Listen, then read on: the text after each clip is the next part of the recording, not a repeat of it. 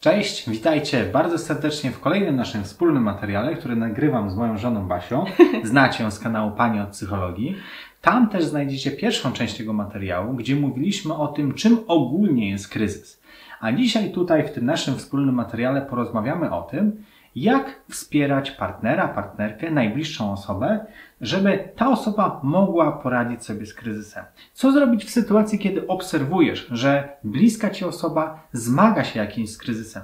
Jak takiej osobie pomóc? Jak takiej osobie nie przeszkadzać? Myślę, że znajdziecie tu wiele porad właśnie na temat tego, jak wspierać kogoś bliskiego, który zmaga się z kryzysem i ten kryzys czasami jest takim momentem w życiu tej osoby, którego ta osoba się wstydzi. I właśnie dlatego ta osoba w kryzysie często nie potrafi poprosić nas o pomoc. A więc my po, powinniśmy wiedzieć, jak obserwować tę osobę, jak zobaczyć te sygnały ostrzegawcze, które świadczą o tym, że pojawił się w jej życiu kryzys i jak wspierać tę osobę, ale w taki właściwy sposób. I tu podamy mniej więcej sześć takich, takich sposobów na to, jak wspierać bliską osobę w kryzysie. I Basiu, proszę zacznij od swojego sposobu.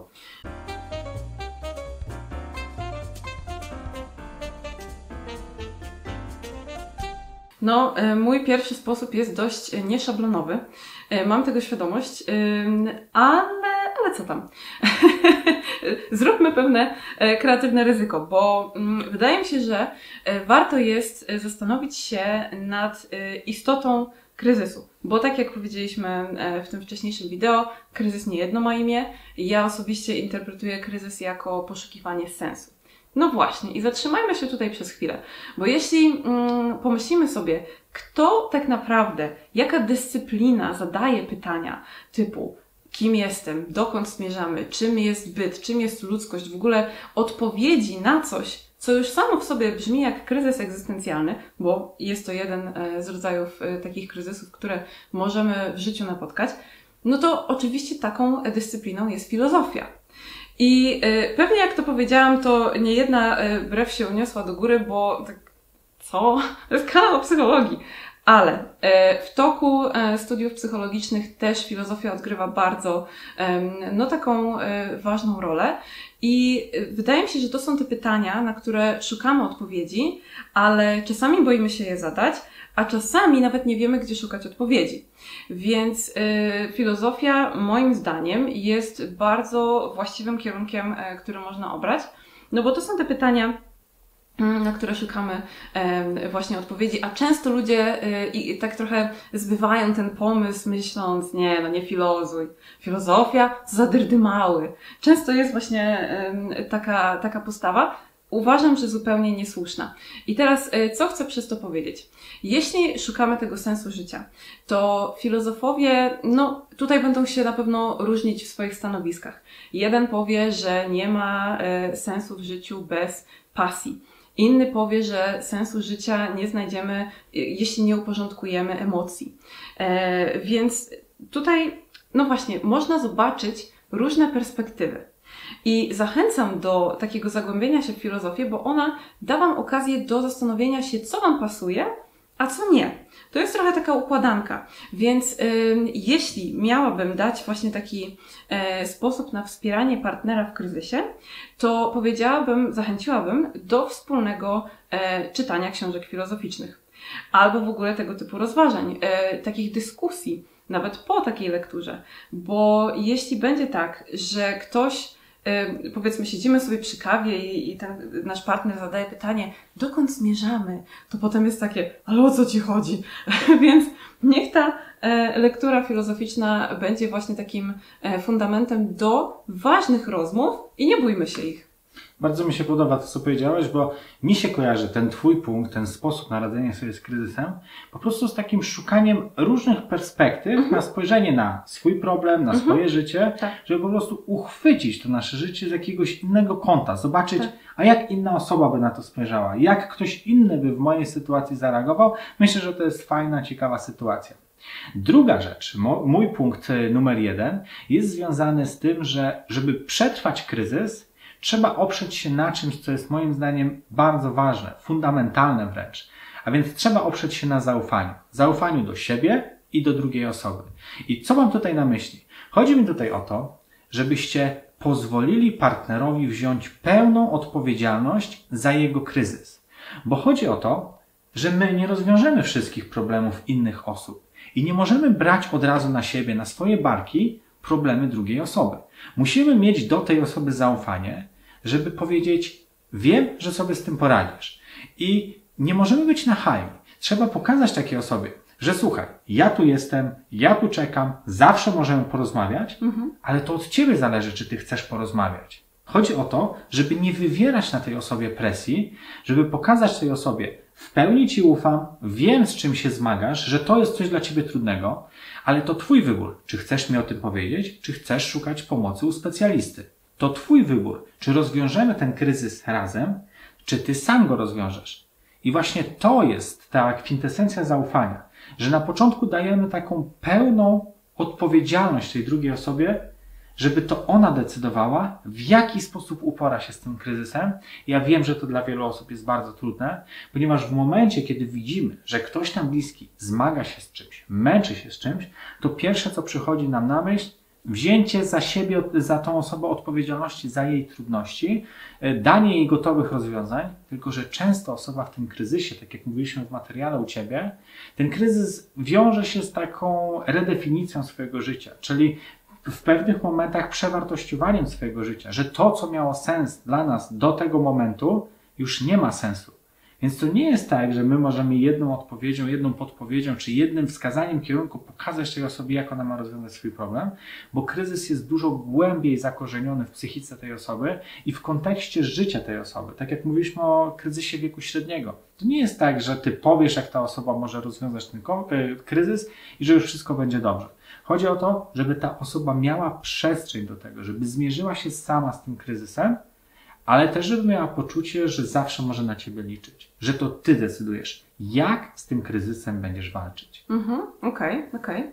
E, ja nawiążę do Twojego punktu, no bo jak już zapytaliśmy filozofów i jak nie wzięliśmy e, tego na własne barki, to teraz e, bardzo ważną wskazówką byłoby dać czas.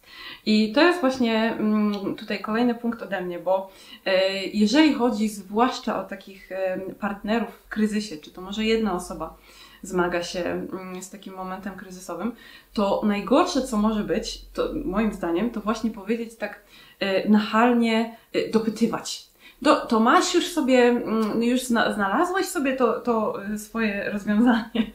Już po kryzysie. To jest w ogóle najgorsze, co mogłoby się zdarzyć. Więc takie oczekiwanie, że te układane, że te puzzle, części tej układanki tak sobie wskoczą magicznie na miejsce, jest absolutnie błędne. Więc to, co na pewno trzeba dać tej drugiej osobie, to czas. I teraz to nie jest łatwe. Zauważcie dlaczego osoby, które mają e, taką tendencję do, do perfekcjonizmu, może właśnie mają taki rys perfekcjonisty, to będą chciały samemu sobie udowodnić, że ze wszystkim sobie poradziły same. Po prostu e, świat na ich barkach, oni e, ze wszystkim sobie świetnie radzą, wszystko już sobie rozwiązali, poukładali, ale są świetni. Perfekcjoniści będą mieli taką tendencję. Z innej strony, osoby, które mm, mają taką wysoką potrzebę domknięcia poznawczego, czyli ogólnie lubią szybko rozwiązywać problemy. Jest, y, powiedzą A, powiedzą B i zamykają temat. Jak najszybciej chciałyby właśnie tak uzyskać odpowiedzi na wszystko szybko. To też ten kryzys, który jest takim no, rozbabranym, trochę takim rozmontowaniem świata, jest takim procesem dość no, chaotycznym, będzie dla nich bardzo E, ciężki, więc tutaj to szukanie odpowiedzi musi trwać.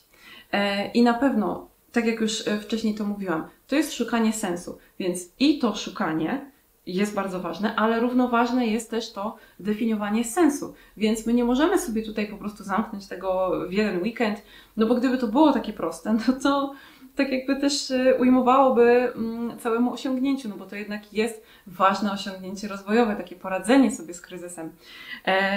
Więc na pewno nie ma co tego pośpieszać, bo to jest wartościowe i znaczące, ale jeśli mówimy o też partnerze e, w kryzysie i tak jak my to obserwujemy, to nie dopytujemy, nie nie wywieramy tej presji.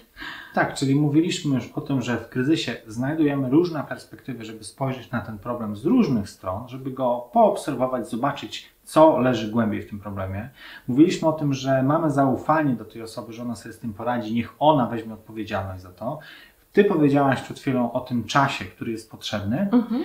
a ja myślę, że właśnie kolejnym krokiem jest to, żeby w momencie, kiedy kryzys się przeciąga, kiedy trwa zbyt długo, żeby nie, nie bać się tego, żeby powiedzieć stop. Bo czasami wydaje nam się, że musimy dawać tego czasu w nieskończoność i to nie działa. Bo dałaś już czas partnerowi, dałaś mu tą odpowiedzialność za ten kryzys, ale widzisz, że zamiast on walczyć z tym kryzysem, zamiast uporać się z tym ważnym problemem w jego życiu, to on zamiata te problemy pod dywan i nic tak naprawdę się nie zmienia. I w tej sytuacji musisz mieć odwagę, jako najbliższa mu osoba, powiedzieć stop że ja widzę Twój problem, widzę, jak się z nim zmagasz. Ja się do tego czasu nie narzucałam, ja do tego czasu nie wywierałam presji, ale w tym momencie to już nie może tak dalej być, bo musimy znaleźć wspólne rozwiązanie. Ja chcę Ci pomóc. I chodzi tutaj o to, żeby albo wskazać drogę tej osobie, że musisz poszukać teraz wsparcia, bo ja nie będę czekała wiecznie, jak ty uporasz się ze swoim kryzysem. Bo to już przeciągany jest ten czas i w pewnym momencie, jeżeli zostawimy tego partnera samemu sobie, to on tak mocno może pogrążyć się w tym kryzysie, że on po prostu z tego kryzysu nie wyjdzie. Że to będzie jego naturalny stan życia i y, on będzie już tak dalej chciał funkcjonować. I to jest bardzo ważne, żeby mieć odwagę i powiedzieć temu partnerowi stop. I ja wiem, że w takim momencie kryzysowym ten partner na różne sposoby może zareagować i zazwyczaj będzie to bardzo zła reakcja. Może być to reakcja agresji, takiej złości, że co ty mi tutaj mówisz, ja przeżywam takie ważne rzeczy, a ty mi tutaj próbujesz ustawiać życie. Lub może być to reakcja w drugą stronę, reakcja takiej całkowitej apatii, beznadziei, bezsilności, że ten partner pokazuje ci wręcz, jak on się poddaje, i to zawsze będzie taka negatywna, zła reakcja, bo ta osoba jest w kryzysie. Natomiast w momencie, kiedy ta osoba po czasie przezwycięży ten kryzys, to ta osoba będzie Ci wdzięczna za to i będzie wiedziała, że ta interwencja, ta Twoja interwencja była bardzo potrzebna. Bo są takie momenty w naszym życiu, że my z tego kryzysu nie potrafimy sami się wygrzebać i ktoś musi nami tak trochę potrząsnąć. Ten ktoś, kto nami potrząsa, musi być to koniecznie osoba dla nas ważna, bliska, ktoś, do kogo mamy zaufanie, kto jest nam życzliwy, ale jeżeli ta osoba nami potrząśnie, to my możemy sobie zdać sprawę, że ten kryzys, który wydawał nam się, że on nie jest aż tak poważny, to, że jest poważny, jest dużo bardziej poważny niż nam się wydawało, ponieważ osoby z naszego otoczenia, szczególnie nasz partner, partnerka, osoba najbliższa, widzi to wyraźnie, co z nami robi ten kryzys. I to jest bardzo ważne, żeby dać sobie takie prawo do tego, że mówię Ci stop.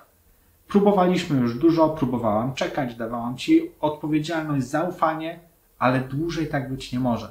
Ty albo y, pójdziesz po wsparcie, albo poszukasz tego wsparcia gdzieś na zewnątrz, albo ja ci pomogę, ale musimy z tym problemem się w końcu zmierzyć. No, bardzo często w takich poważnych nałogach, alkohol, hazard, mamy taki moment, że osoba już nie może czekać, bo całe życie dookoła jest ustawione tego nałogu i ktoś musi w końcu tak potrząsnąć tą osobą i powiedzieć jej dość, ile ty możesz pić, ile ty możesz przegrywać naszych wspólnych pieniędzy w różnych miejscach, po prostu ja się na to nie godzę. I jeżeli robisz to z życzliwością, jeżeli robisz to z miłości i z prawdziwej troski, to pamiętaj, że masz do tego prawo. Masz prawo powiedzieć bliskiej osobie stop, wiem, że to jest twój kryzys, wiem, że ty chcesz się tym zająć, ale ja widzę, wyraźnie widzę, że sobie z tym nie radzisz i chcę ci jakoś pomóc i musisz wiedzieć, że ja zdaję sobie sprawę, jak ten kryzys jest poważny. Mhm. To mój następny punkt będzie związany z tym, co właśnie powiedziałeś, bo on może być dobrym następstwem e, właśnie po tym. I e, ja tutaj chciałabym zaproponować e, planowanie wspólnej przyszłości, ale w perspektywie długofalowej, długodystansowej. Mam tutaj na myśli 5-10 lat, czasami nawet wzwyż, idąc właśnie dalej w przyszłość. Bo e, często w ludziach obserwuję taką tendencję, że fajnie jest mieć taki plan y, na 5 lat y, w przyszłość, ale co z przyszłym miesiącem? Jest taka mm, pokusa, żeby skupić się na tym, co tu i teraz, bo to jest bardziej kuszące, bo to jest nam bliższe, bo to wydaje się bardziej realne, osiągalne. Ja tutaj chciałabym e, zachęcić do e, planowania różnych scenariuszy przyszłości. E, w momencie kryzysowym, który jest przełomowy, możemy właśnie takie planowanie potraktować jako element przekuwania tej lekcji na wspólną dobrą monetę. Więc po tym, co powiedziałeś, kiedy właśnie partnerzy powiedzieliby stop temu kryzysowi, to mogliby właśnie mm, podjąć takie kroki wymyślania tej wspólnej przyszłości na nowo. Co tutaj proponuję? Jeżeli mówią o swoich planach i oczekiwaniach na przyszłość, jest duża szansa, że te inicjatywy będą się zazębiać. Że na przykład, jeżeli w tej chwili jest kiepsko, to jest duża szansa, że na przyszłość będzie lepiej. To będzie taka nadzieja. To będzie coś, w czym będą się wspierać, w czym partnerzy będą y, wspólnie dążyć. Do czego będą wspólnie dążyć, bo właśnie jeżeli ten obecny moment nie jest idealny, to jest po co żyć, bo widać, ok, teraz jest jak jest, ale walczymy o lepsze wspólne jutro. I właśnie to wspólne jutro jest tutaj bardzo ważne. Więc po pierwsze trzeba oprzeć się tej pokusie takiego krótkotrwałego, tego y, bliższego planowania przyszłości, które też jest ważne, ale ono nie, jakby nie będzie tak ściśle związane z tym momentem kryzysu. E, jest też tutaj bardzo ważne, żeby podkreślić, że to powinny być realne kroki. Więc jeżeli e, jest na przykład jakiś taki przewrotowy, wywrotowy pomysł na e, nowy styl życia, to czy oboje, obie osoby jakby tego chcą? Czy to ma dotyczyć obu partnerów? Jak realne mogą być te kroki? Jakie one będą konkretnie? To mają być właśnie takie e, zagadnienia, które nie wyglądają tylko dobrze na piśmie, ale które w ogóle wpisują się w cały styl życia. Może powstanie z tego jakaś wspólna pasja, albo nawet pomysł na biznes. Chodzi o to, że w przeciągu 5 czy 10 lat tak dużo może się zmienić jeszcze po drodze i tak wiele tych punktów e, wspólnych i tych e, momentów zazębiających się może mieć miejsce, że jeżeli właśnie obie osoby w związku tego chcą, to jest realna szansa, żeby to e, właśnie tutaj ugrać i wygrać. Ale bardzo zachęcam też do rozważenia różnych alternatywnych scenariuszy.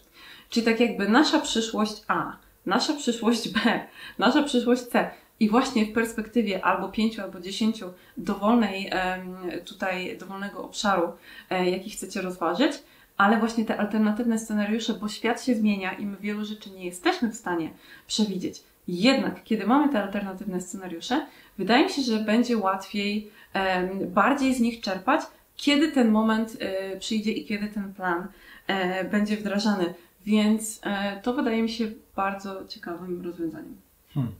Mój ostatni punkt będzie zupełnie inny od tego, co powiedzieliśmy tutaj, ponieważ dotyczy takich sytuacji, w których my przegapimy sygnały ostrzegawcze, które pokazują nam, że osoba nam bliska jest w kryzysie. I ten mój ostatni punkt, który tak przyszedł mi do głowy, chodzi tutaj w nim o to, żebyśmy nie bali się przyznać do błędu, że my wcześniej zlekceważyliśmy problem partnera. Bo kiedy ktoś nam bliski przechodzi kryzys, bardzo często nam się wydaje, że to jest jakaś błaha sprawa, że to jest coś mało istotnego, że on zaraz bardzo szybko się pozbiera, wszystko wróci do normy.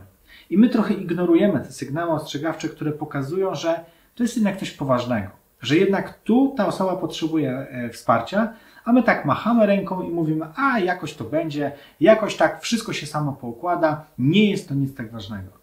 I kiedy widzimy jednak, że ta sprawa jest poważna, to trochę nam głupio przyznać, że tak to lekceważyliśmy i wiele osób po prostu nic z tym nie robi. Lekceważyłem na początku, więc teraz nie przyznam się do błędu i yy, tak to już jakoś jest, może to się samo rozwiąże.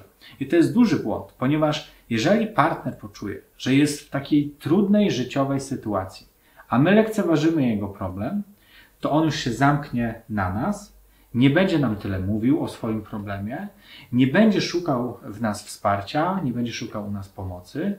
I to jest bardzo trudna sytuacja, żeby ten partner sam z siebie potem wyszedł z inicjatywą, jeżeli my ten problem już zlekceważyliśmy na starcie.